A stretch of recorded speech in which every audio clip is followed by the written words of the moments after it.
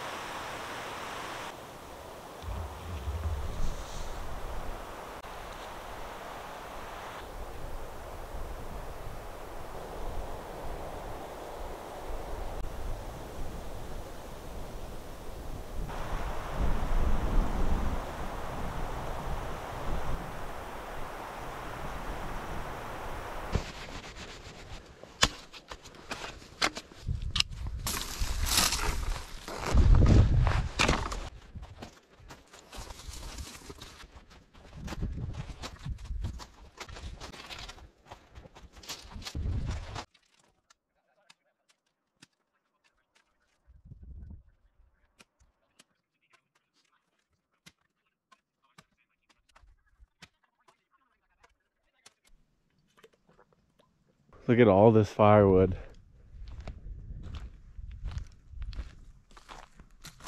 It's getting towards the evening now. It's like 6.30. The wind died down, so I want to see if I can fly the drone, and then I'm going to cook some dinner.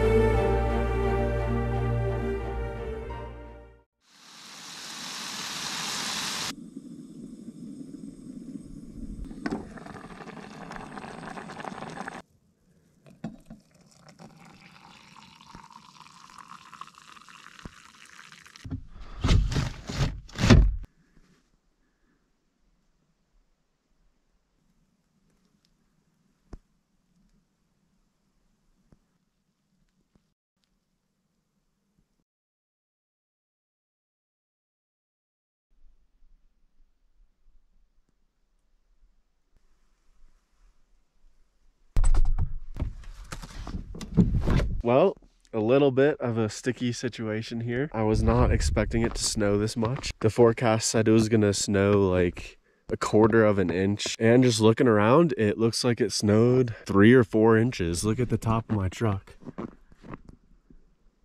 This is a lot of snow, honestly. I was planning on staying at this location anyway, but I might be a little bit trapped.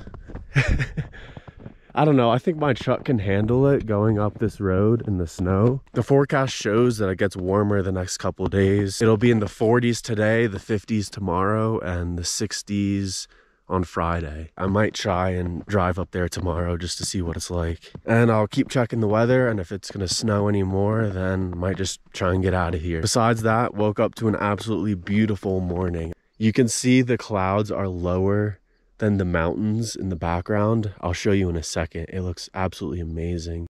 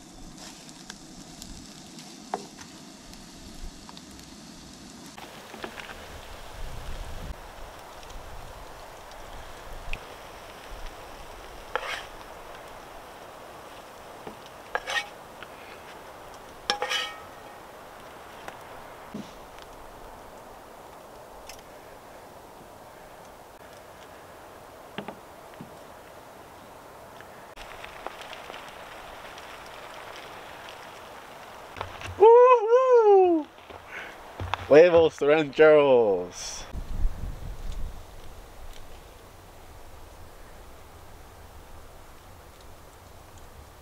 Oh my goodness. Loaded huevos rancheros. Looks so good.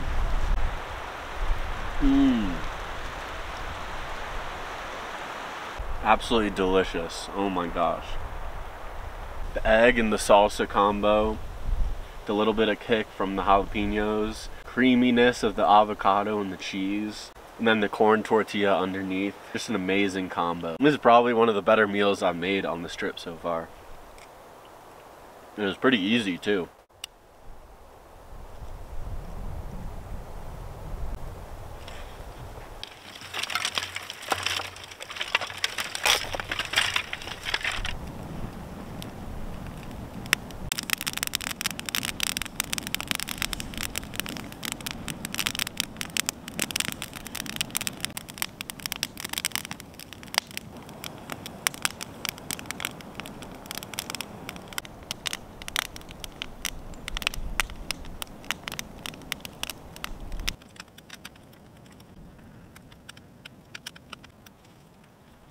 All right, well, it's been a very relaxing day. It was super windy this afternoon, so I couldn't really build a fire. Uh, I had to wait to do my dishes too. It's kind of died down this evening, and I was able to start an awesome fire. This feels so good. Did my dishes and cooked dinner at the same time, going back and forth and stoking the fire. I finally got my chair, and I'm relaxing for the night, and I'm gonna enjoy the fire and enjoy this dinner. It's been a really good day.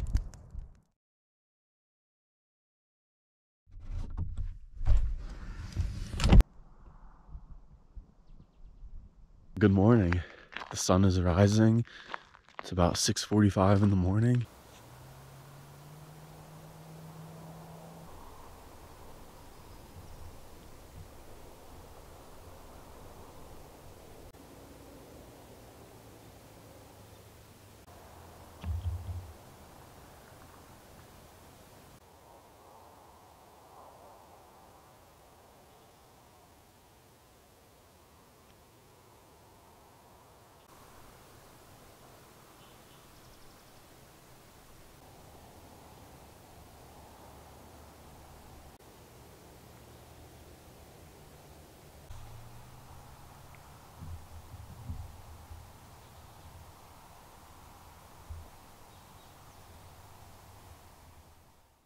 Packed up for the morning, eating my morning oatmeal. I'm gonna attempt to drive up the Forest Service Road and head back to Valles Caldera.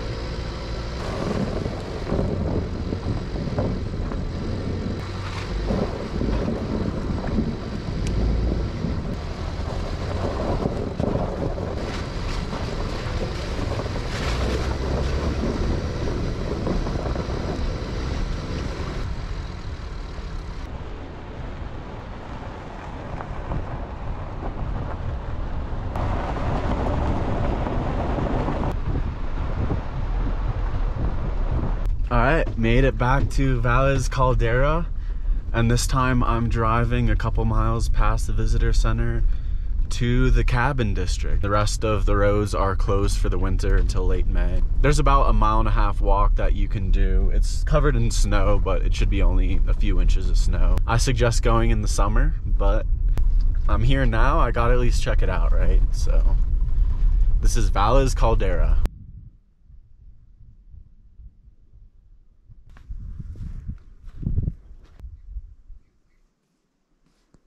So this area of Valles Caldera used to be a hub of ranching operations. And this little cluster of historic log cabins facilitated spring, summer, and fall ranching operations in the area of the Valles Caldera. The location offered shelter of towering old growth conifers, ample spring water for the people living here, and a vista of the Valle Grande, which is the huge valley here that I'm showing.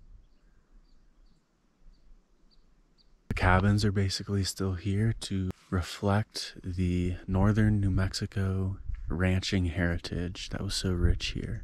And actually, fun fact this cabin right here, built in 1918, over 100 years ago, was used in the show Longmire. So, this was the Longmire cabin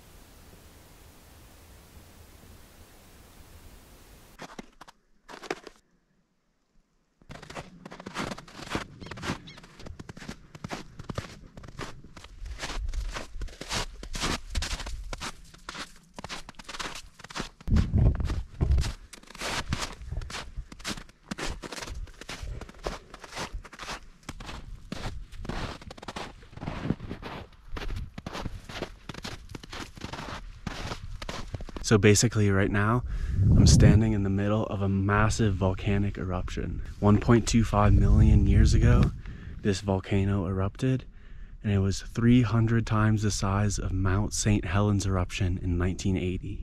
All the surrounding states of New Mexico, it spread its ashes, and it's just unfathomable to think of how big this eruption really was. Plate tectonics and all the magma underneath the Earth's surface here created a huge force and a giant eruption. The magma chamber underneath the earth was empty, right?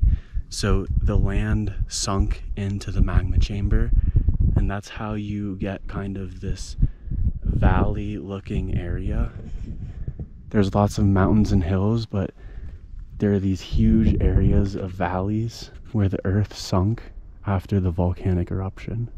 So it's a really cool place to visit, very important pastime and history in terms of the geology of the area and the forming of this land around the Santa Fe National Forest. Even though it's still March and there's snow covering 90%, you know, I'm definitely still happy I visited it and learned more about it. I definitely recommend you come visit this area maybe in the summer.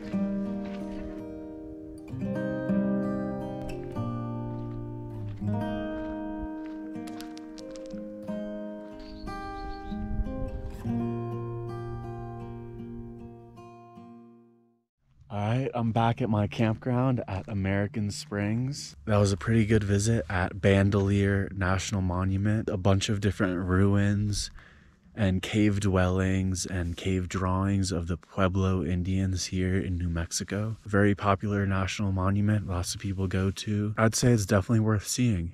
It's really cool.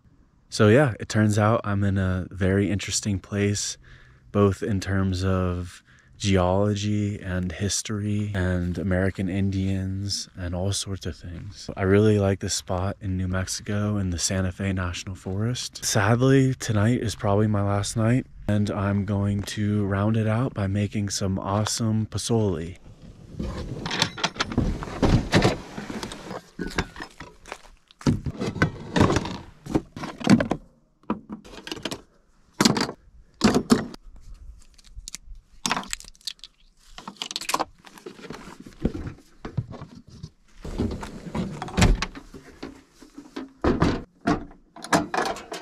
Stove used to be clean, but it's getting a little bit dirty.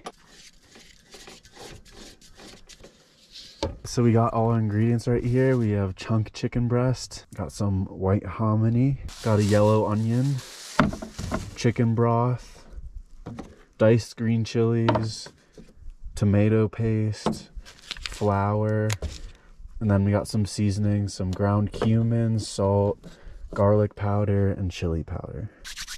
So let's get into it. First, I'm gonna cut up the onion.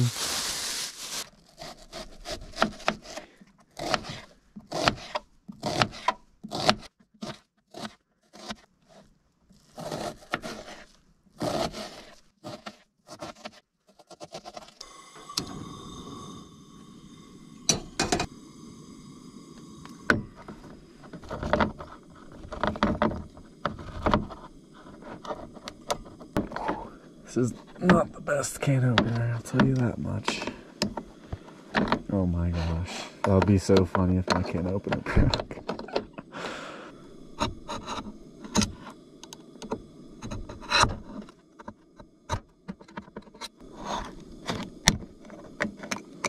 While I deal with that, I'm gonna add the onions. Not exactly happy with that can opener. I'm just gonna have to do what I can and try and open this last can with do what I can, get it. Alright, so when these turn nice and translucent, I'm going to add some flour and some chili powder. There's one. And there's two.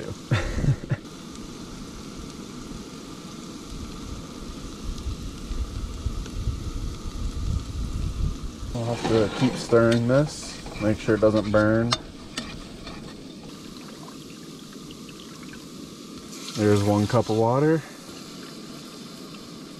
and two cups of water. Now I'm gonna add half of this can of tomato paste and that'll thicken it up a little bit more.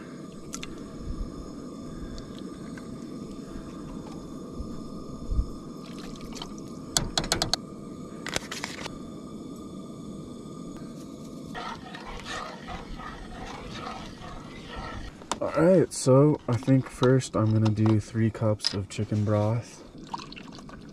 And I hope I have three cups of it. It might be just a little bit less. A little bit to spare. And then I'm gonna add the hominy, chicken, and then all the diced green chilies.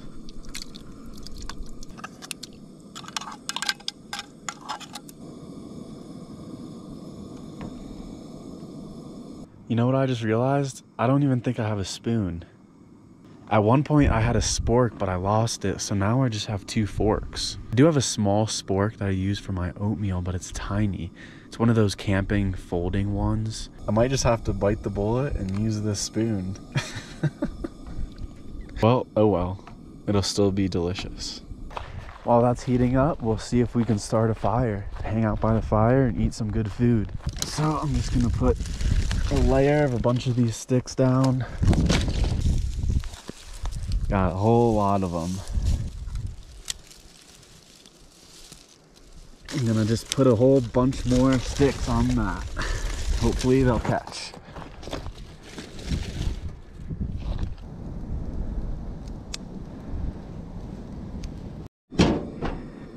Looking pretty darn good. I'm gonna try it real quick.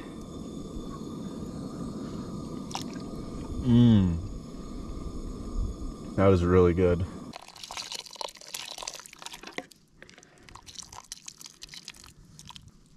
All right, I'm gonna start with that. Boom. Pozole. Yummy. Oh man.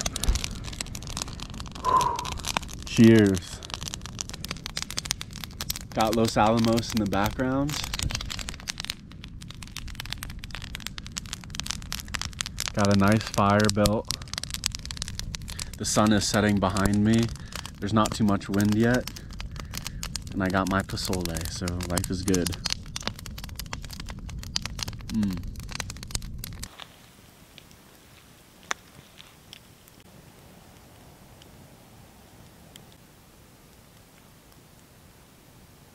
Well, I think that kind of wraps up this video and this trip. You know, it's always recency bias, but this is the most beautiful camping experience that I've had on this trip. I mean, just an amazing view. There's firewood everywhere. There's lots of stuff to do in terms of hiking, and the geology is cool. The history is cool with the Pueblo Indians. There's mountains. There's a town right there if you need to go to. There's off-roading, and the weather's not too bad either. So this has been an amazing trip and definitely one to remember. I can't wait to come back here in the Santa Fe National Forest. But quick update on my road trip. I originally planned to go north here from New Mexico up into Colorado and you know Wyoming and Idaho and then back down to Utah and Arizona. But it's still March and I think there's a lot of snow in the mountains in Utah and Colorado and those are the two states that I've kind of been looking forward to the most.